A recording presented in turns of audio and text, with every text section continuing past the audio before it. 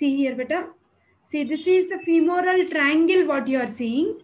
The femoral triangle, if you remember, it is bounded superiorly by inguinal ligament, medially by the medial border of adductor longus, laterally by the lateral border of sartorius. Apex is the meeting point of sartorius and the adductor longus. Okay, roof by skin, superficial fascia, that is deep fascia, fascia lata, isn't it? Floor, you have IPPA muscles, iliacus, psoas major, pectineus, and the adductor longus. Now, when you see the contents from medial to lateral, we have femoral vein, femoral artery, and femoral nerve. Okay. I'm talking about all these things. This will help you to talk about the relations of femoral artery here. Okay, you should know the layout. Medially, the femoral artery is related to femoral vein. Laterally, it is related to femoral nerve. And femoral artery is the continuation of external iliac artery. If you remember in the abdomen, we have studied abdominal aorta dividing into right common iliac, left common iliac. Right common or left common, both of them will divide into external and internal iliac. Internal iliac will supply the pelvic organs, external iliac continues as femoral artery. Okay. So this femoral artery will give three superficial branches. As you can see here. What are those? Superficial epigastric. Where did we find the superficial epigastric artery? In the anterior abdominal wall. Okay, then we have this artery which is moving towards the external genitalia that is superficial external pudendal. Pudendum means external genitalia. And the other artery is binding and going towards the hip bone. No, you call it as superficial circumflex iliac artery. These are the three superficial branches. Correspondingly, we also have three deep branches, same name. Instead of this word superficial, you have to replace it with deep. Okay, we have deep uh, like uh, epigastric artery is there like deep external pudendal and deep circumflex iliac. And as you go down the largest artery we have from here is profunda femoris artery. The continuation of femoral artery is dash. Femoral artery continues as what artery? Unlimited times i told you when i was doing artery popliteal artery. Very good. How does uh, by passing through like is it seen anteriorly or posteriorly? Can you tell me the course? It passes through adductor magnus. Very It passes posterior. Yeah, Hema is answering nicely. Now she is little back. Nice. I'm very happy. Appreciate and keep it up better. Yes, ma'am. So adductor magnus will have an opening which is called as hiatus. Okay. So through that hiatus, you will see femoral artery continues as popliteal artery. Very good. So that means its course is seen posteriorly. Now you can see here better. Now see this is our inguinal ligament. The whole artery what we are finding is the femoral artery. This course is shown in the femoral triangle. As Hema said, it is passing through the opening in the adductor magnus and the rest of the course is seen behind the femur that is in the popliteal fossa which is now continuing as popliteal artery. But I am getting some important call. We will just take it. Okay, you have seen the superficial and deep branches. Superficial external pudendal, superficial epigastric, which is going towards anterior abdominal wall, circumflex iliac. Okay, deep branches, profunda femoris, deep external pudendal, and muscular branches. Okay, so now profunda femoris is the largest branch, right? See this profunda mm-hmm. femoris. What are the branches it gives further? You see here. See, this is our femoral artery and this is profunda femoris artery. It is running between adductor longus and adductor brevis. Okay. This is from medial to lateral side, but this is the medial side of the picture. Adductor, see you are finding brevis, then we are finding, uh, sorry, first we are finding magnus, then we are finding brevis and this is longus. Okay. Then this artery which is going behind is the profunda femoris artery. So this profunda femoris artery, it gives branches like medial circumflex femoral and lateral circumflex femoral. Circumflex in the sense, it just winds around the neck of the femur bone. Okay, medial hmm. and lateral circumflex femoral arteries. Okay, this lateral circumflex femoral artery, it gives further ascending branch, descending branch and transverse branch. In Netter surplus, Hmm. usually you will have a very good picture beta showing you that, okay, from lateral circumflex femoral artery, we have, actually I have shown you in my PowerPoint, ascending branch, transverse branch and descending branch. Okay, that is, these are the branches coming from lateral circumflex femoral artery. Okay, deep external pudendal, of course, this is uh, from the deeper compartment of the artery and again supplying the deeper aspects of the genitalia, like uh, deep to, it supplies uh, spermatic cord in case of males, round ligament of uterus in females, it supplies scrotum and labium majus. Muscular branches, they arise from femoral and profunda femoris artery and they supply muscles of thigh.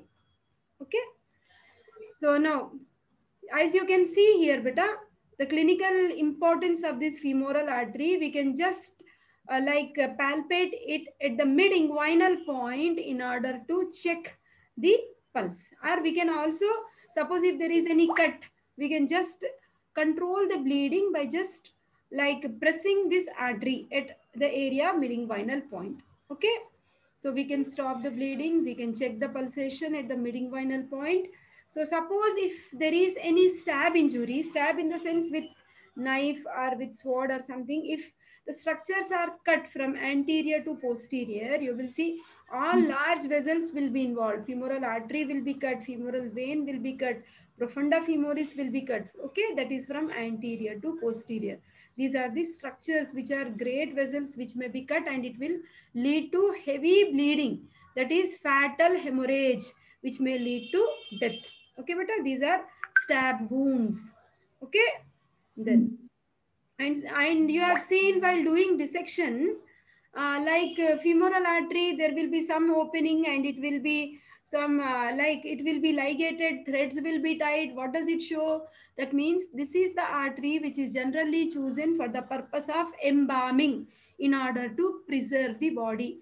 Cannula is basically inserted here okay? And we are just uh, like uh, allowing the embalming fluid to enter inside. Okay beta? So that is Hmm.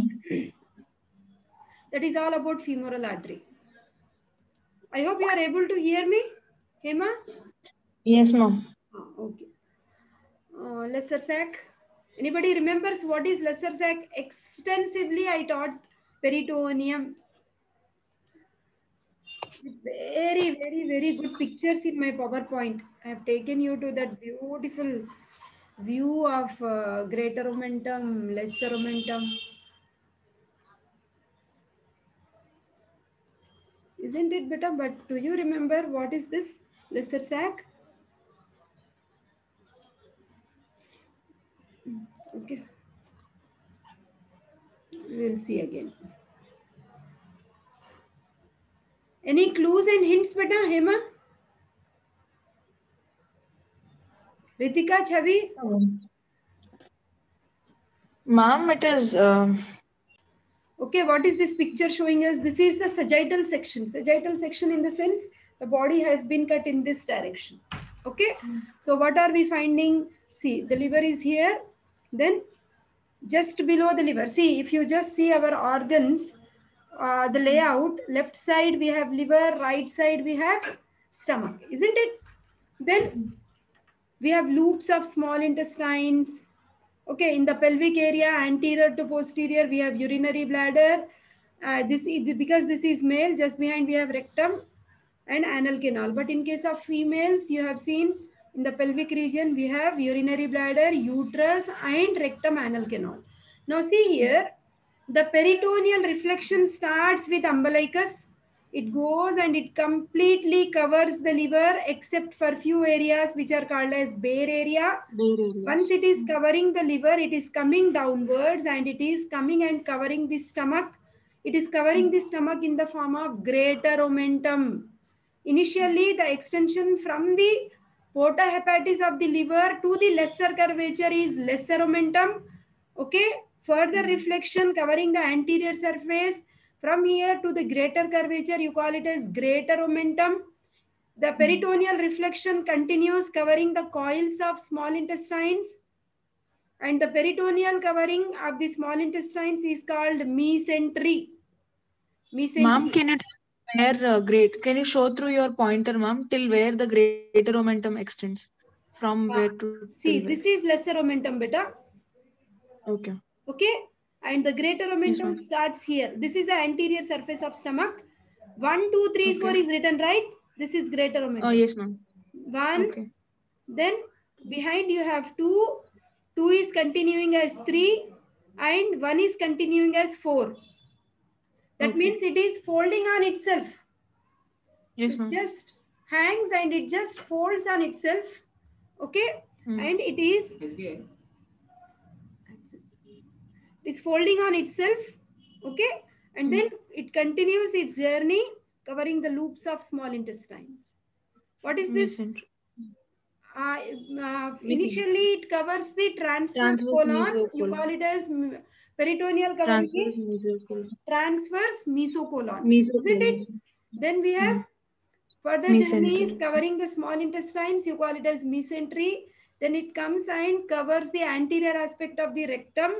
And between the urinary bladder and rectum, it just forms a fold. What is the name of this fold of peritoneum? Rectovesical pouch. Douglas pouch. Huh. No, Douglas pouch is in females. No, beta. Okay, okay. So uterine pouch is Douglas pouch. These Ah, foods are different in females and males because now let me finish. See, once it is covering the superior aspect of the urinary bladder, this peritoneum comes back and joins the place where we have started. That is umbilicus. Now, the greater sac is the area what you are finding in front of lesser omentum, in front of stomach, and in front of greater omentum. As soon as you cut open the abdomen, whatever empty space you find in the abdominal cavity is nothing but greater sac. Now, whatever is shown in pink color here, as you said, behind the stomach, Mm. isn't it, Hema? So this complete Yes, area behind the stomach, which is actually um, uh, shown the outline of pink lines, this Mm. is nothing but lesser sac. Okay. This area, pink area is lesser sac. This white area is greater sac. And peritoneal reflection in case of females in the pelvis area, it differs because you like uterus has come in between. So there is a Mm. fold of peritoneum between uterus and rectum anal canal. This fold is recto-uterine pouch. As Mm. you said, it is pouch of Douglas. And in between urinary bladder and uterus, it is vesico-uterine pouch. This you Mm. should remember better. Now you should not forget. Okay. Now, once Okay. you know this concept clearly by looking at this picture, you will be able to understand the boundaries of lesser sac. Okay. Mm. lesser sac, which is also called as omental bursa. Large recess means it's a large empty space of peritoneal cavity which is seen behind the stomach. Lesser omentum, as we see, it is behind the caudate lobe of the liver. It is close all around except for a small space. I have shown with the Netter's Atlas images. In fact, there is a small opening at the greater omentum, right free margin, that is epiploic foramen, foramen of Winslow, through which you will see greater sac will be communicating. This section will not help us to understand.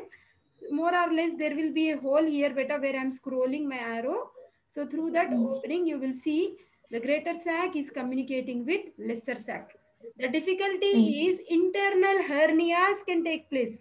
If this hole is becoming big, the loops of intestines may come out through that opening and they may lie in the greater sac. That's what is internal hernia. Okay, beta? Yes, ma'am. So you just take the help of that picture and read this explanation. And still, if you don't understand, we will discuss in the next class. Okay?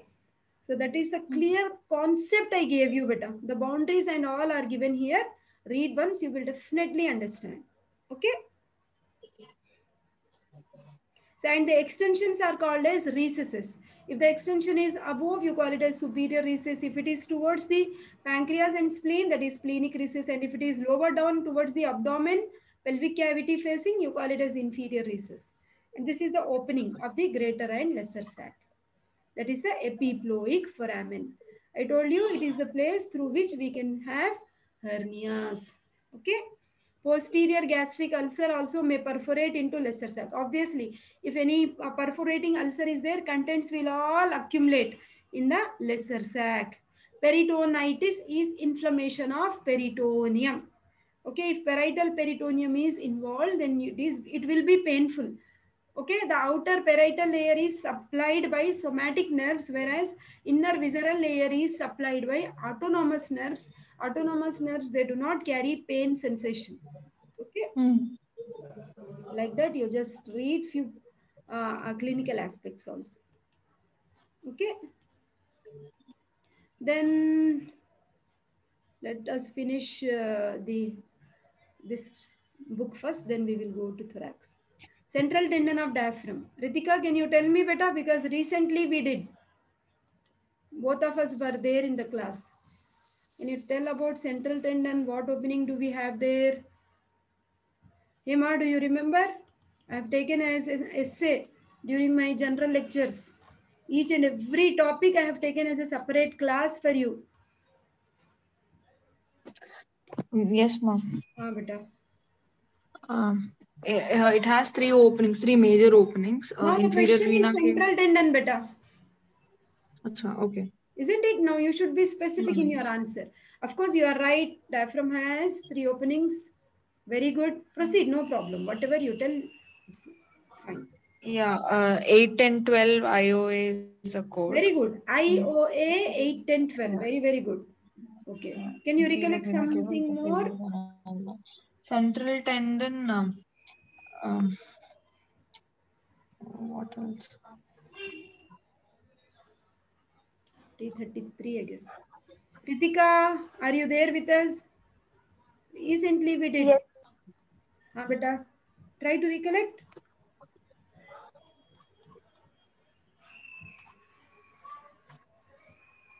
This green area is central tendon. That means the Hmm. place where basically when you talk about the origin of diaphragm, diaphragm is a muscle, it is a muscular partition. So we have sternal fibers coming from the posterior aspect of xiphoid process. We have costal fibers coming from the lower six ribs, costal cartilages. Then we have lumbar fibers coming from the lumbar vertebrae, which form the lumbocostal arches. Now the fibers moving from the sternal and uh, from the costal margin, from the lumbar margin, they are all converging towards center. And this is the place where we are finding the insertion of diaphragm. All round is the origin of muscle fibers and central tendon is the point of insertion of muscle fibers. As Hema was telling, uh, like uh, diaphragm has three major openings. Okay, as she said, we have I, O, A, 8, 10, 12. I stands for inferior vena cava, which is opening at the level of 8th thoracic vertebra. O stands for esophagus, which is opening at the level of 10th thoracic Tenth. vertebra. Very good. And aorta is opening at the level of T12, 12th thoracic hmm. vertebra. Okay. So central tendon hmm. is a point of insertion of muscle fibers of diaphragm. It shows the opening of inferior vena cava and actually the muscular contraction of the uh, muscle fibers of diaphragm also will help in contraction of this inferior vena cava so that the blood is pushed up towards the right atrium. The opening of the inferior vena cava is also sharing the right phrenic nerve which supplies diaphragm. Okay, beta? So that is all about central tendon. So it is uh, trilobar. It looks like as though it is triangle, tongue shaped. Okay. One projection is on right side, the other projection is on left side. Right press is longer and stronger because it has to pull the diaphragm. And right side we have liver, so more pressure is required. So this is right projection. This is left projection. This is the anterior projection of central tendon. Okay. So and this is the mm-hmm. opening. Okay, so that is all about central tendon. Beta. Central tendon, then mutation. Okay, splenic vein. Let me finish the questions coming from this book, then we will go on. Splenic vein, where do we see beta? Till I open, try to recollect. Three of you.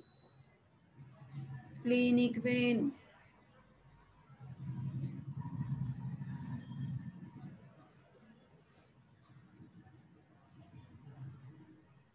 Portal vein formation, right?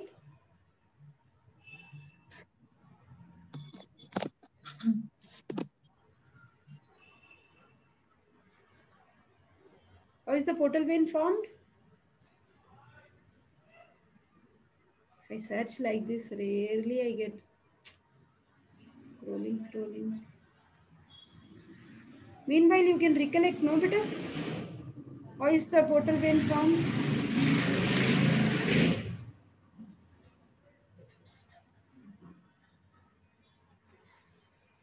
Superior mesenteric vein and splenic vein join to form portal vein. Where is the portal vein form exactly?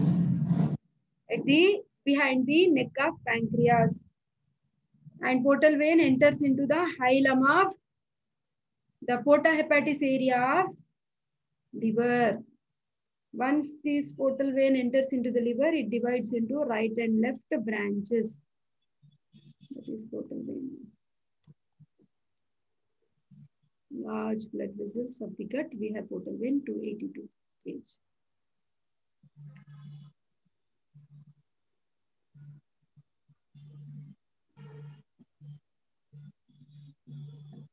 See here, beta. Now our question is splenic vein. Only splenic vein is asked. So splenic vein is important because see, splenic vein is the vein which is collecting the venous blood from the spleen. Okay, and it is running. It is also collecting the venous blood from the pancreas. Into the splenic vein, inferior mesenteric vein also opens. See here. Inferior mesenteric vein opens. That means it is collecting the blood from the gastrointestinal tract as well the derivatives of hind gut. Okay, left half of the transverse colon, descending colon, sigmoid colon, rectum, anal canal. Okay, so all these venous blood is collected by splenic vein. Okay, so inferior mesenteric vein is draining into splenic vein. Splenic vein joins the superior mesenteric vein. Both these veins are forming the hepatic portal vein. Hepatic portal vein mm. will enter into this area. This area is porta hepatis area of the liver and then it divides into right and left branches. Okay, beta? Mm. Anyhow, portal, uh, portal vein itself comes as an essay question. A part of it is asked as a five marks question here. Or not even five marks, only two marks. Okay, deep inguinal ring. How is it formed, beta?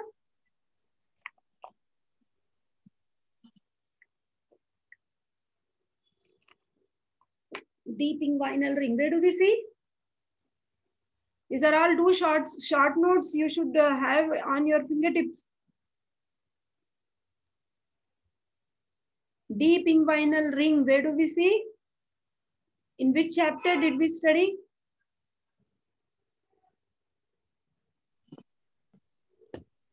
Yes.